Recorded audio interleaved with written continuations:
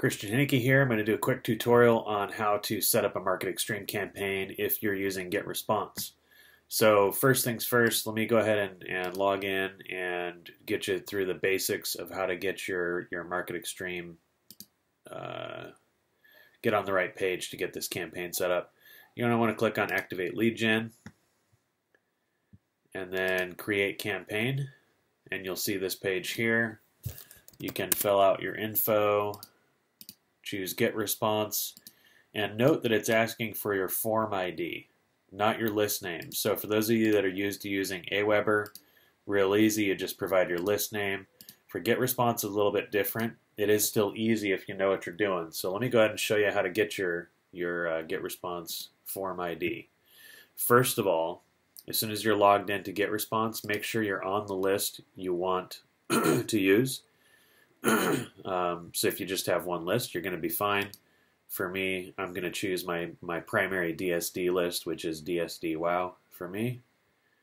So let me let that reload. Okay. I am going to create a new web form. So I'm going to click on the big red button. this is so, so simple. You do not need to do anything at all with design. None of this matters. Nobody's going to see any of this. All you need to do is click over here on Publish and come down here. Don't need to click on anything at all. Your web form ID will show up in this in this JavaScript code box down here.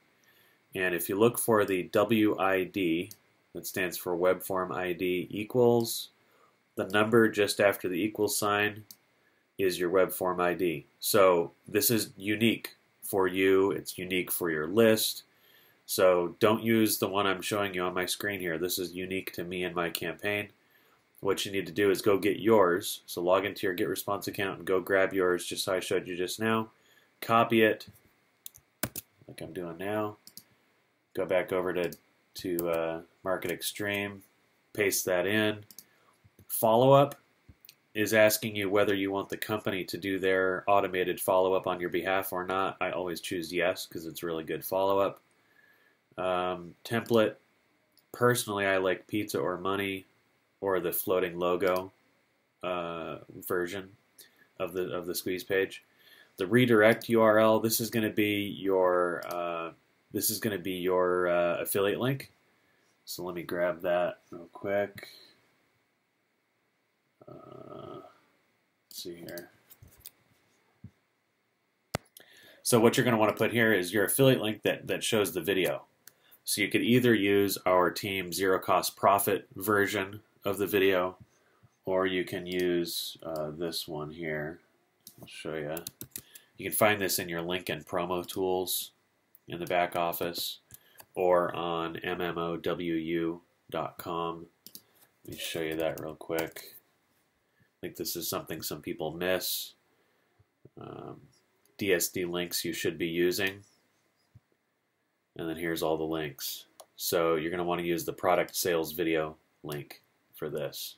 Okay, you can use the product sales video ZCP variation if you want. Okay, so get that in there. You can leave the Google Analytics blank. Now the comments section is important, um, really important if you're doing multiple different campaigns, which I highly recommend. So let's let's just say you're setting this up right now to use on Facebook I would type in Facebook as the note. Okay, if you're setting it up to use on Craigslist, make that the note. Um, I'm just going to put test because I don't want to confuse myself here. I'm going to hit create campaign. And then here's how you grab your link. So you can see it's successfully created. If you click on the link, this is my page. And the link in the, uh, the, the web address bar above here, that is that is your, your campaign link. So just copy that. Um, you can come back into um, back in here and look at campaigns report and scroll down to the bottom. I didn't get enough of the uh, I didn't get a big enough recording window to show you, but the link shows up in here. Okay, so um, where's my notes?